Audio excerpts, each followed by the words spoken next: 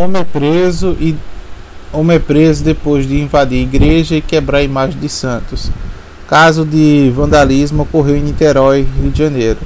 O homem foi preso após invadir a Catedral de São Batista no centro de Niterói, Rio de Janeiro.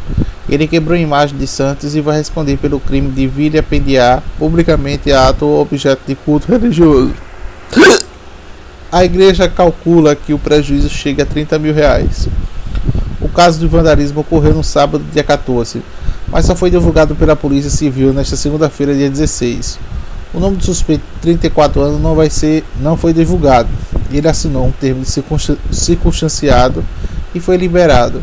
Ele explicou na sua motivação, mas classificou o uso da imagem de mal procedimento. O procedimento foi enviado à justiça. As duas imagens vandalizadas têm um valor histórico, figuras do Senhor dos Passos e da Nossa Senhora das Cabeças. Mas o principal prejuízo é o valor histórico, é incalculável. A imagem de Nosso Senhor dos Passos tem mais de 100 anos, afirmou o membro da administração. A catedral planeja restaurar a restauração com a imagem do Senhor dos Passos. Nossa Senhora das Cabeças foi reduzida a pó.